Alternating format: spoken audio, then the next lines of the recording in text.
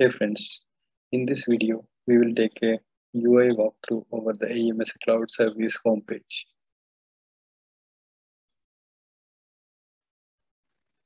In the previous video, we have seen the Adobe Experience Cloud homepage.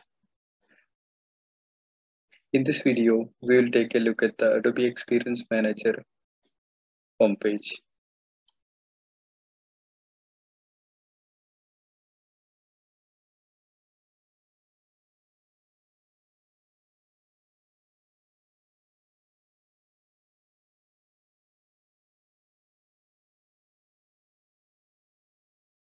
You can see the programs and products section. Under this section, there is a program which is enabled. So let me go within the program.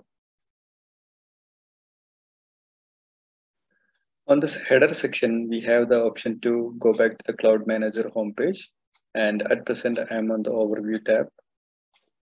The major highlight of this program is the deployment, recent deployment has been completed. You can see the section here with the view details.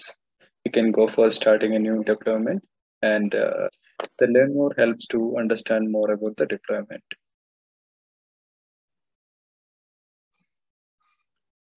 The next section is environments.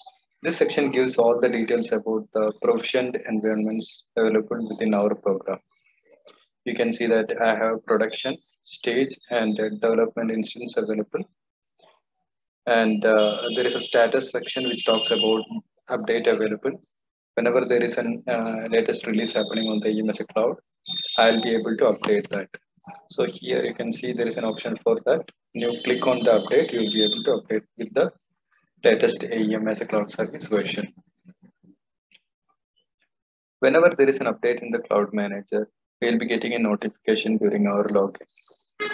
So this section gives a detail like what are the uh, things getting updated. And to understand more, you can click on the learn more.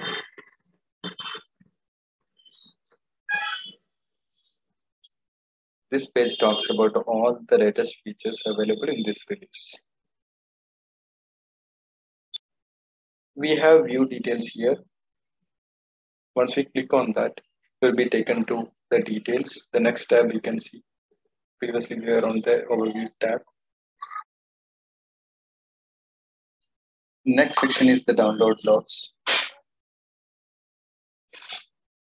Here you have uh, different environments again. From the production environment, you can go head to the author instance, and publish dispatcher, and uh, download a set of logs like uh, AEM access, AEM error, request logs, etc. Just click on the download icon and it will be downloading the corresponding docs for it.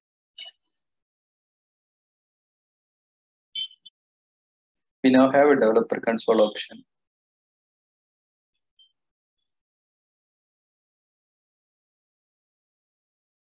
Since you have logged into the Adobe IMS, it was directly taken to the login screen.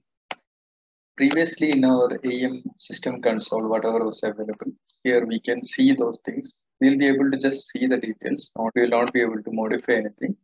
So for example, I have the bundles option, components configuration, OAK indexes, OSGi service, Sling jobs. Once I click select the bundles and I can uh, select options like text or JSON and set, click on the get status. This JSON data will have all the details about the current bundles installed in this environment. I'll talk about the developer console in my upcoming videos in detail. Next is the delete option. We need to reconfigure something. You can just delete this environment, but be very cautious while operating the delete option. Next option is the Docker login.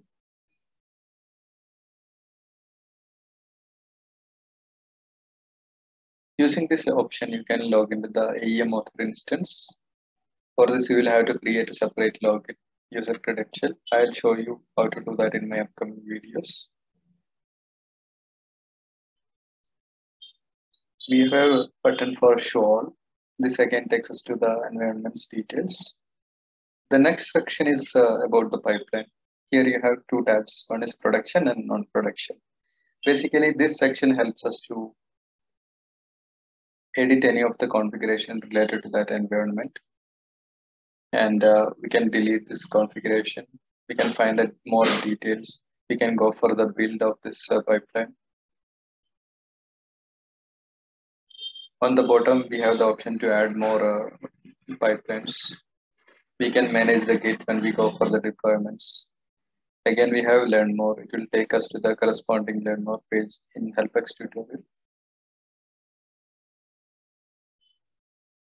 And bottom, you can see the useful resources. We have few more tabs. So overview we have seen. We have the environments tab, which I have explained already. And next is the activity section.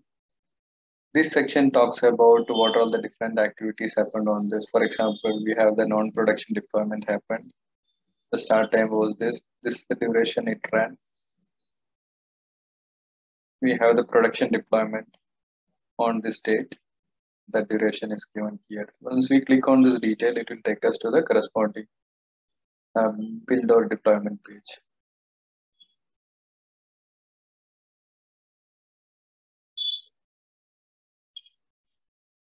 Once I clicked on details, it has taken me to the corresponding pipeline. So this will tell me like what had happened during this period. The last tab is learn. This gives a complete overview of everything about AEM as cloud service. There are different tutorials. So under learning paths, there are different video tutor tutorials. You can just take a look at it.